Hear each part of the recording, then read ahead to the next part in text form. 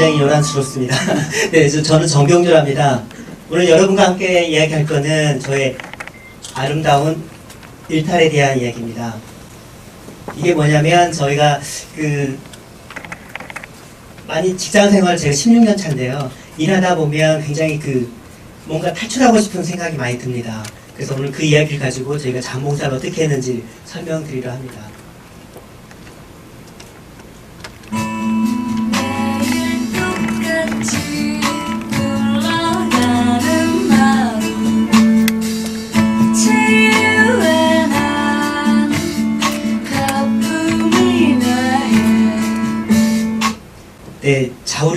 일탈이라는 노래인데요.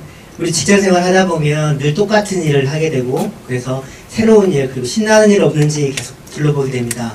저도 매일 아침 출근하면서 퇴근을 생각하고요. 그리고 더 좋은 직장 없는지 계속 찾아보고 있습니다. 참고로 저는 굉장히 좋은 직장 다니거든요. 그럼에도 불구하고 그런 생각을 합니다. 아, 그 여러분 쉐리 댄스라는 영화 기억하실지 모르겠는데요. 음, 한 평범한 직장인이 지루한 일상을 탈출하기 위해서 어느 순간 지하철역에서 지나가다가 예쁜 그 발레 교습소 강사를 보게 됩니다. 그래서 계속 그 강사를 쫓아다니면서 배우게 되는 거죠. 제가 아는 선배님도 영화처럼 삶을 사셨습니다.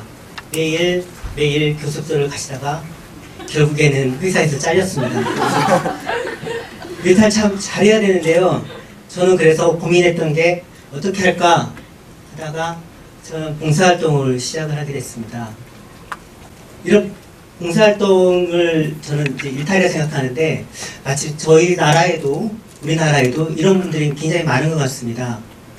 자몽사자 숫자가 해마다 증가를 하고 있는데요. 2006년만 해도 14% 정도밖에 안 되는데 이제 19% 아마 지금 한 20% 넘어갔을 것 같다는 생각이 듭니다. 2010년에 저희가 행정안전부에서 이제 자몽사자 통계를 발표를 했는데요. 성인 자원봉사 통계 수치가 460만에 달했다고 합니다. 이건 전체 성인 인구의 약 11.9%에 해당됩니다. 그거는 바로 우리 10사람 중에 여기 있는 분 10명 중에 한 명은 자몽사를 했다고 생각이 되는 겁니다. 제가 이런 자몽사를 왜 하게 됐냐면 실은 저희 첫 아이가 초등학교에 가게 될 즈음 제 자신을 다시 한번 돌이켜보는 시간이 생겼었는데요. 아이가 학교를 가게 되면 부모들은 굉장히 큰 변화가 생깁니다. 학부모가 되면서 아 내가 이- 정말 그 자리를 잘 키웠는가 앞으로 어떻게 키울 거냐 고민을 하게 되는데요. 혹시 오거나이저님 자녀분 있으세요? 결혼 못 하셨군요. 네. 네, 저희가 결혼을 하게 되면 똑같은 고민을 하게 되는데 다시 한번 고민하게 되는 계기가 아이가 초등학교 가게 되는 계기입니다. 그래서 모든 부모들은 저와 똑같은 생각을 가지고 있을 텐데요. 우리 아이는 정말 올바르게 키우고 싶다. 그리고 또 잘 성장하길 바라는 마음이 있을 것입니다. 그래서 저도 생각을 했죠. 그러면 어떻게 할 것인가? 그럼 아이에게 올바르게 가르치고 또 아이가 저를 보고 배울 텐데 저 또한 그렇게 부모의 마음으로서 정말 바르게 행동을 해야 되겠다. 이런 생각을 가졌습니다. 어느 순간 유니세프 소식지를 제가 바라보고 깜짝 놀란 게 있었는데 아, 아프리카 어린이들은 부모가 또 없고 가난해서 초등학교 못 다니는 아이들 굉장히 많다고 합니다. 뿐만 아니라 어린 나이부터 노동 현장에서 일을 하고요. 또 전쟁터에서 이렇게 옆에 총을 들고 있는 분이 계시죠. 쉽게 어린 나이에 전쟁을 경험하고 거기 안에서 사라져가는 아이들이 굉장히 많았었습니다. 그래서 그동안에 제가 어, 후원자 활동을 했었는데 이런 단순한 후원보다 좀 더 적극적으로 일을 해보고 싶다 이런 생각이 들어서 저희가 음, 마침 2008년에 저와 같은 마음을 가진 분들이 많았었습니다. 그래서 유니세프 직장인 자원봉사회를 결성하게 됐는데요. 저는 이제 사무실에서는 연구원으로 일을 하게 됩니다. 하지만 여기 와서는 어떤 똑같은 자원봉사로서 일을 하게 됐고, 그리고 여기 안에는 지금 어, 승무원, 교사, 심지어는 뭐 저녁마다 이 DJ 활동하는 친구가 있는데 그 활동 들어왔고요. 소방관, 그 다음에 군인, 간호사 굉장한 다양한 직종에 있는 분들이 저와 같은 뜻을 같이 해줬습니다. 현재는 약 70여 명이 저희가 똑같은 고민을 가지고 활동을 하고 있습니다. 그래서 세계 모든 어린이가 행복한 세상을 위해서 저희가 노력을 하고 있습니다. 2009년에는 저희가 어, 출범한 지한 년밖, 1년밖에 안 되지 않았지만 뭔가 새로운 일을 해보고 싶다는 마음에서 직장인과 함께하는 나눔과 기부라는 행사를 개최했습니다. 어, 평일 저녁에 개최되었었는데요. 제가 다니는 직장의 사무실을 어, 강당을 무상으로 임대를 받았고 그 다음에 재능 기부를 해준 친구가 있었습니다. 포스터 및 그 다음에 안내장, 그 다음에 교재 이런 것도 전부 다 저희 자몽사자들이 직접 만들어서 제공을 했습니다. 근데 이런 기부들은 저희뿐만 아니라 참여하신 모든 분이 다 똑같은 기부를 했다고 저는 생각을 합니다. 약 200여 명이 참여를 했었는데요. 보통 직장인에게 저녁에 식사는 굉장히 음, 저녁 시간 굉장히 귀합니다. 회식도 많고요. 그리고 삼겹살에 소맥 한 잔 굉장히 간절할 텐데 여기 오신 분들 대부분이 빵 하나, 우유 하나로 자기 시간을 기부해줬고 어, 이 사진은 없는데 이 바깥쪽에서는 저희가 바자회를 했었습니다. 아니, 바자회가 아니고 조그마한 그 기념품 샵을 만들어가지고 이날 참여하신 분들이 세미나 그 강사 무료인 대신에 유세 기부 물건들을 나- 전시해 놓고 이 물건들을 구매해 주시면 곧바로 기부가 됩니다. 설명을 드렸더니 많은 분들이 또 참여를 해 주셨습니다. 그래서 저녁 늦게까지지만 끝까지 다 경청을 했던 아주 멋진 세미나로 기억이 됩니다. 아, 저희는 서울의 명소를 찾아가지고 유니세프 사업을 알리고 또 정기 후원자들 모집을 하고 있습니다. 이 사진은 서울에 있는 남산인데요. 남산에서는 해마다 이제 세계 모래 날 행사를 기념을 해가지고 어, 사랑 맨발 걷기 대회를 엽니다.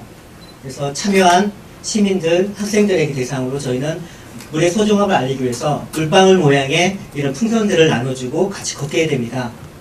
또 학생들에게는 실제 물동이를 마련해가지고 어, 일정 기간 뭐 30m, 20m든 걷게 합니다. 그래서 아프리카 어린이들이 어떻게 생활을 하고 어떻게 물을 깃고 있는지를 좀 실감해보게 하는데요. 굉장히 힘들게 체험을 했다는 아이들의 평이 있었습니다. 또 주말에는 저희가 청계광장에서 어, 유니세프 사업을 알리고 그다음 시민과 접촉하면서 이런 사진전들을 또 열고 있습니다. 그래서 실제 우리가 기부금이 어떻게 쓰이고 그다음에 아프리카 어린이들이 어떠한 위험에 처해 있는지를 설명하게 되는데요.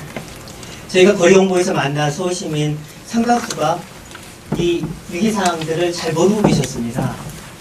그래서 제가 오늘 어, 몇 가지 수치를 준비하는데요. 이 수치를 통해서 어린이들이 어떻게 위기에 처해 있는지를 설명드리고자 합니다.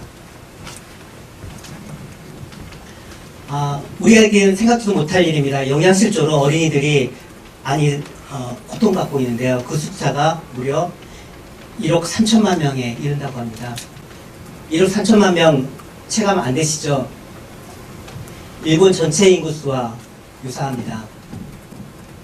뿐만 아니라 초등학교 다니지 못한 어린이가 6,800만 명입니다. 이 6,800만 명은 프랑스의 전체 인구수와 유사합니다. 또한 가지 더 사례를 보여드릴 텐데요. 매년 가난과 질병으로 해서 5세 미만 어린이가 760만 명이 사망을 하고 있습니다. 해마다 사망을 한다고 생각을 해보십시오. 이 수는 스위스의 전체 인구수와 같습니다. 양쪽에 무거운 물동이를 지고 하루 종일 물을 기느라 학교도 가지 못합니다. 하루 4시간에서 6시간을 이 무거운 물통을 지고 나르면서 아이가 등뼈가 희고요. 그리고 바르게 성장을 할 수가 없습니다. 심지어는 28km를 걷는 어린아이가 있다고 합니다. 이 28km를 걷는 과정에서 아프리카 동물들 아까 많이 보셨죠? 라이언킹도 있겠지만 그런 가축들의 위험도 있고 그 다음에 성인들이 자행하는 어떤 강간의 위험에도 고스란히 노출되어 있다고 합니다. 아프리카 속담에 빨리 가려면 혼자 가고 멀리 가려면 함께 가라는 이야기가 있습니다. 이 이야기는 이 어려운 문제를 해결하는 데 있어서 단순히 부자 몇 사람이 이 문제를 해결할 수 있는 건 결코 아니라는 이야기입니다.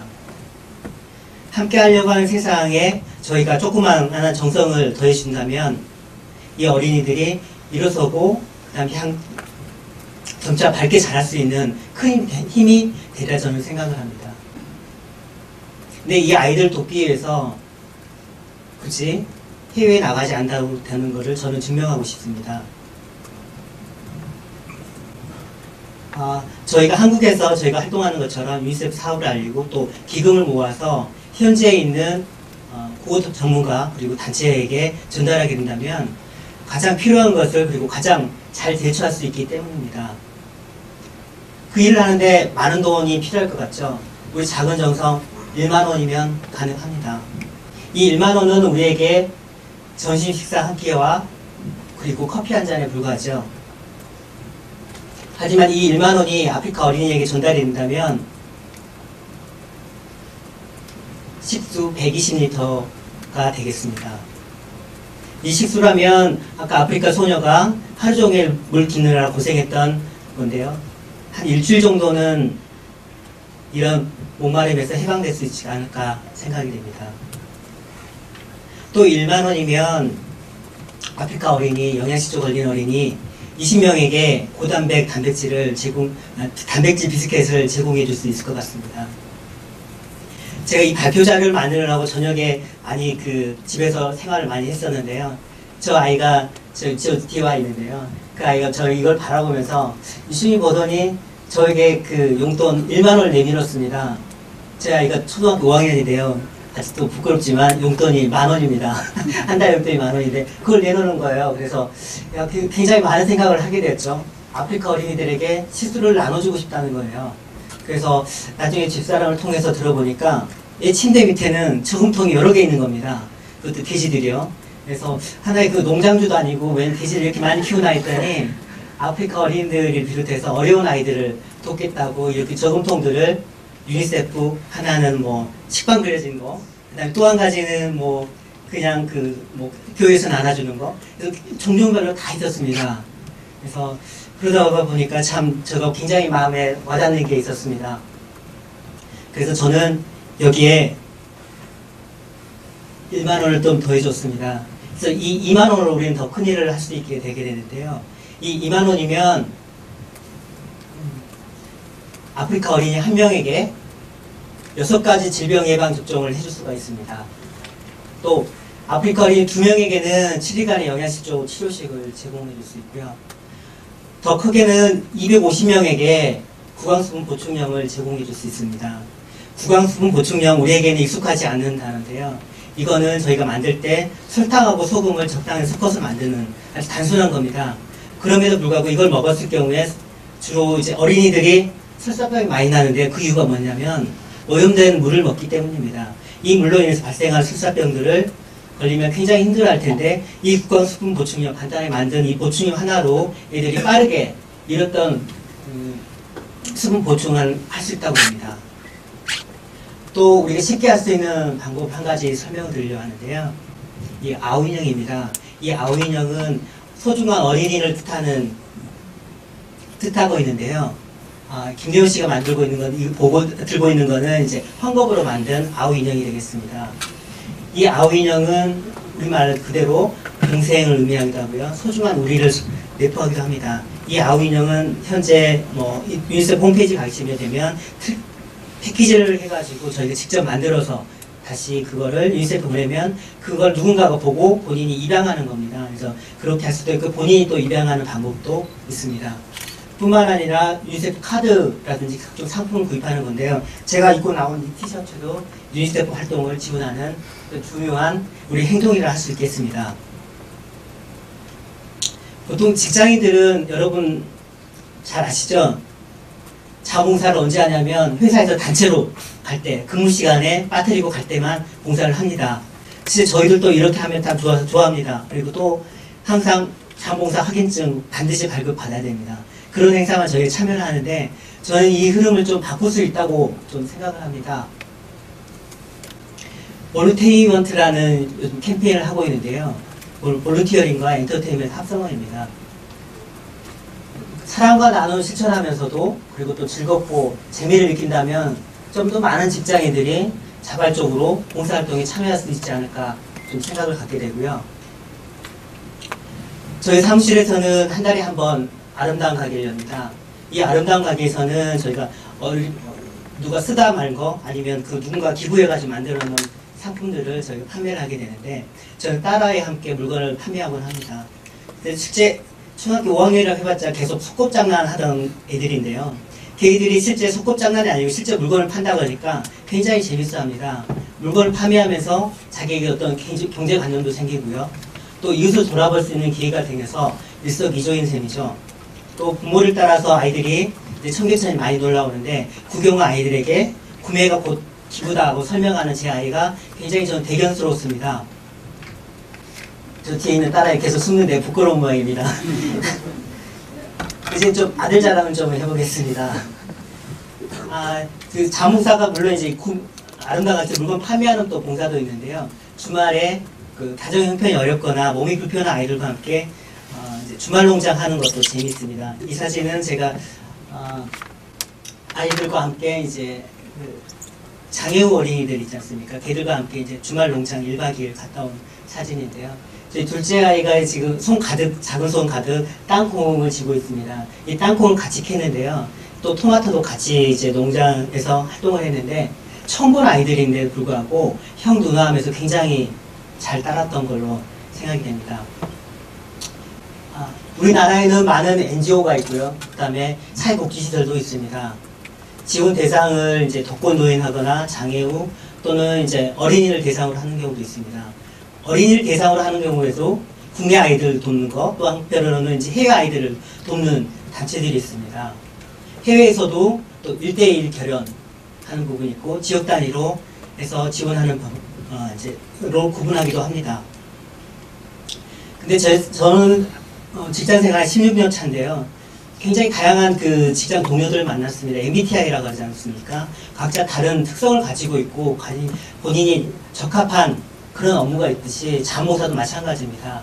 본인에게 맞는 어떤 그런 자몽사가 분명히 활동이 분명히 있을 거로 생각이 됩니다. 아, 오늘 이 자리에 돌아가시면 이런 어, 각 지체들의 웹사이트를 보시거나 SN을 통해서 한번 정보를 얻으신 다음에 적극 참여해 보십시오. 아, 오시면서 보셨겠지만 지금 밖에는 저희 직장인 자원봉사자들이 나와 있습니다. 유니세프 사업을 좀 알려드리고 그 다음에 어떻게 활동하는지 그 다음에 이 기금이 어떻게 사는지 뭐 궁극 어, 구급 어, 약품이 들어있는 키트도 가져왔고 그 다음에 애들이 전쟁하게 되면 가장 먼저 전쟁 피해를 받게 되는데요. 그거를 극복하기 위한 놀이용 키트도 저희가 가지고 나왔습니다. 그래서 한번 둘러보시고 적극적인 관심과 참여를 좀 부탁을 드리겠습니다. 저는 잠복사를 통해서 굉장히 행복감을 느꼈습니다. 이런 지루하게 16년 동안 공공기관에서 일을 하는데요. 16년 동안 공공기관에서 일하는 거는 정말 죽음과 다름없습니다. 매일 똑같은 일을 하게 되는데요. 그럼에도 불구하고 이 자몽사를 통해서 저는 어떤 활력을 느꼈습니다. 뿐만 아니라 제가 자몽사를 하게 되니까 저희 아내가 또 봉사를 학교에서 봉사를 하고 저희 딸아이도 봉사를 하고 있습니다. 최근에는 이틀렉트 회장이 됐다고 하더라고요. 그래서 회장 자녀의 회장입니다. 저희 지금 무조건 봉사하면 이 정도까지는 해야 되는 거고요. 뿐만 아니라 저희 직장 아까 아름다하게 설명드렸듯이 제가 봉사를 열심히 하자 그러니까 동료들 또한 그렇게 변해가는 모습을 봤습니다. 뿐만 아니라 제가 근무하는 이제 이런 공공기관들도 같은 요즘에 스마트 엔젤스라고 그래가지고 단체를 넓혀가고 있습니다. 그래서 봉사를 좀 더 많이 하게 되는 이게 어떤 물결처럼 퍼져나가고 있는 모습을 볼때 정말 행복을 했습니다. 아직도 아프리카 중심에는 우리의 사랑을 기다리는 아이들이 많이 있습니다. 여기 이 자리에 계신 분들도 아름다운 세상을 위해서 정말 중요한 일탈, 의미 있는 일탈 해주시길 바라면서 이상 직장인 자문사자 정병주였습니다. 고맙습니다.